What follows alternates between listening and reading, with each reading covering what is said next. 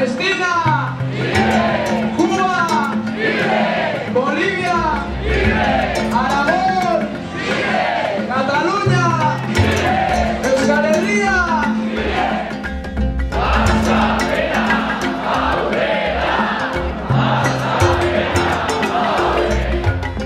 Ez dugula etxiko.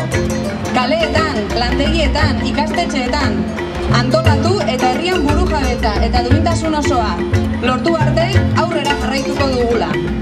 Mendeetan zehar, Imperio Espainiararen menpe egon arren, aske izan arte, tinko segiko dugula.